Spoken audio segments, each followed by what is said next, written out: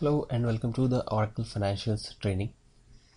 In this training, we are going to cover the 11i and release 12 of Oracle Financials Techno-Functional Training, which includes the introduction to Oracle applications, navigation around Oracle applications. We are also going to talk about some of the key process or uh, the business cycles from a functional perspective and how it relates to Oracle applications.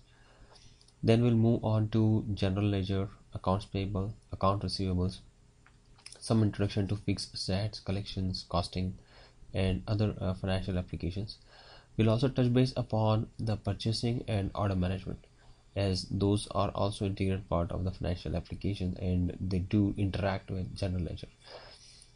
Uh, most of the screenshots that we are going to show here are uh, based on the release 12. Uh, some of them may be 11i, but we are going to talk about the implementation steps mostly from the release 12 perspective because we will go through the uh, concept of R12 uh, R11i but then we'll go through the implementation steps for R12 because that is what the future uh, is.